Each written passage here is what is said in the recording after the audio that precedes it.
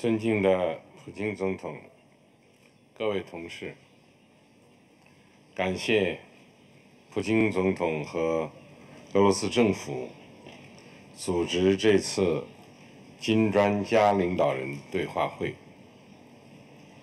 我对出席今天会议的各国领导人表示热烈欢迎，很高兴同新老朋友相聚喀山。全球南方群体رئيس جمهورية الصين الشعبية السيد شين جين 是 بين 世 فت- 界 فليتفضل 大变局的鲜明标志。全球南方国家共同迈向现代化，是世界历史上一件大事。 فلاديمير بوتين يا أصدقائي الكرام أيها الزملاء أشكركم. وأشكر فخامة الرئيس الروسي والحكومة الروسية على تنظيم حوارنا اليوم في إطار بريكس بلس. أنا سعيد بأن أرحب جميع الزملاء وأن ألتقي بأصدقاء الكرماء والأحبة فإن النهضة المشتركة لدول الجنوب العالمي هي دلالة على التغير الجذري في المنظومة العالمية. فسيرها المشترك صوب التحديث يرمز إلى التغيرات الجذرية في التاريخ. والبداية الجديدة والمشرقة في تأريخ البشرية. ولكن بحكم التحديات الصارمة التي نواجهها في سبيلنا إلى ذلك فإن مسيرة الجنوب العالمي صوب النهضة لن يكون سهلا. نحن كدول الرائدة للجنوب العالمي يتحتم علينا توحيد جهدنا عقولنا وتولي المسؤولية عن بلورة المنظومة المشتركة العادلة. لابد من الدفاع عن السلام والسلم من أجل التنمية. علينا أن نحمي العالم علينا من نعمل على تهدئة الأوضاع خفض التصعيد وشق الطريق إلى التسوية السلمية للأزمة. في يوليو هذه السنة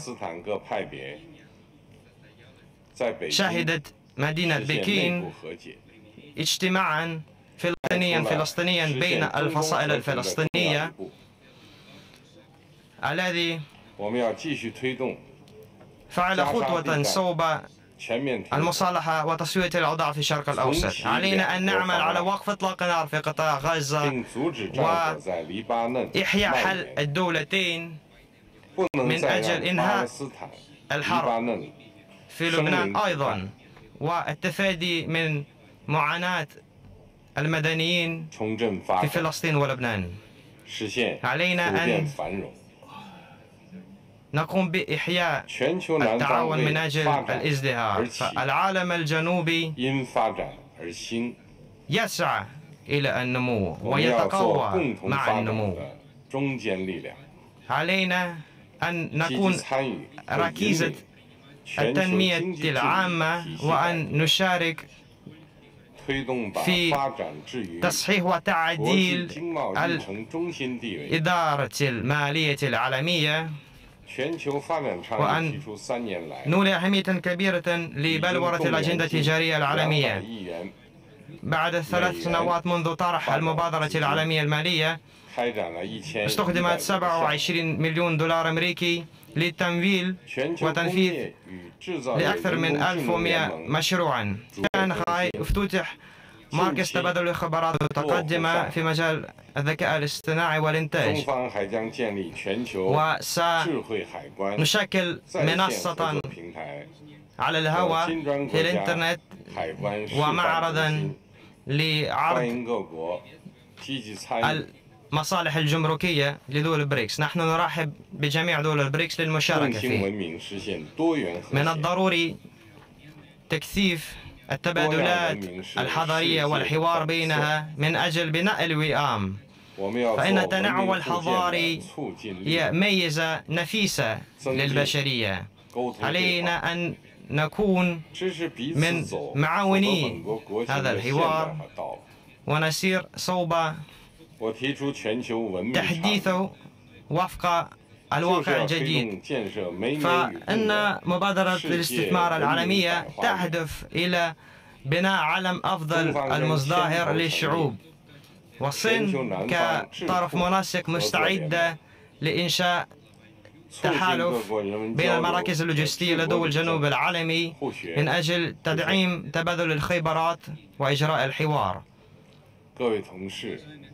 أيها الزملاء الكرام.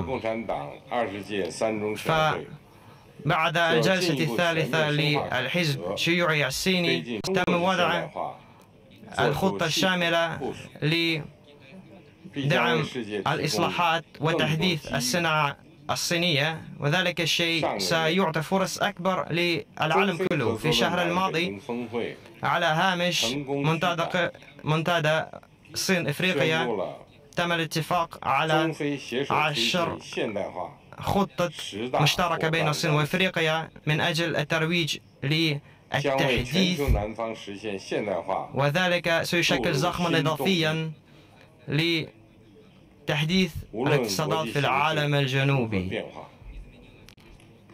كيفما تغير الوضع العالمي سيكون الطرف الصيني